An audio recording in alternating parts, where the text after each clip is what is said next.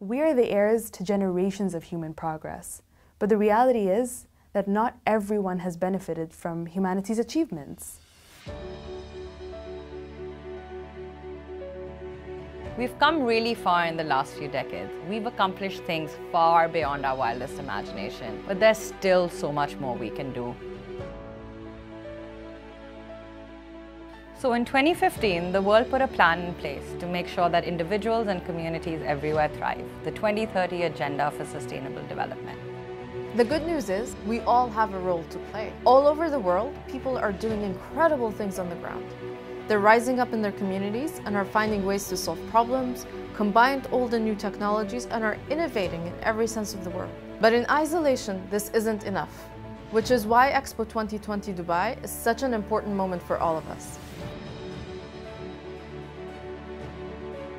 We want to be able to invite everyone from across the globe to Expo 2020, where we hope that through Expo, we create a platform of knowledge and understanding that makes us more self-aware about the role that we can play in our society and in our planet, almost triggering a new level of consciousness in all who visit.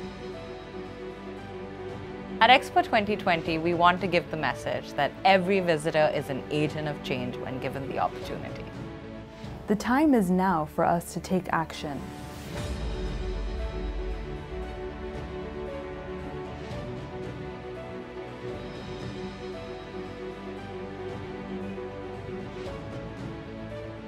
In our flagship Opportunity Pavilion, visitors will experience how individual actions can be a force for change making real strides towards solving these issues. The actual experience that the visitor is going to go through will be about the role that the visitor, the individual plays in impacting global change, that small actions have big impact. We're talking about active storytelling here rather than lean back passive storytelling. So um, we're bringing in a few game mechanics that help um, players work together and work on their own to, to experience the content firsthand. One of the key inspirations lay with the idea of a ribbon-like canopy, which is actually a woven, a woven canopy.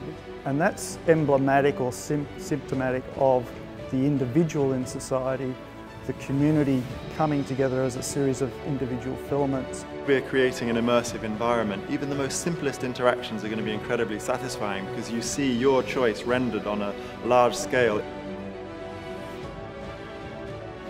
Towards the end of that journey, people emerge out into a major crescendo space, which is very much about both celebrating the individual, but also about capturing people's memories and creating this call to action.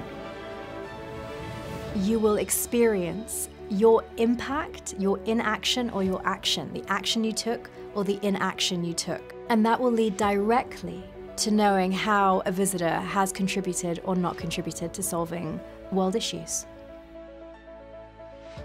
We hope that Expo 2020 Dubai will set an example of what can be accomplished when we create meaningful connections and work together to ensure an enduring legacy.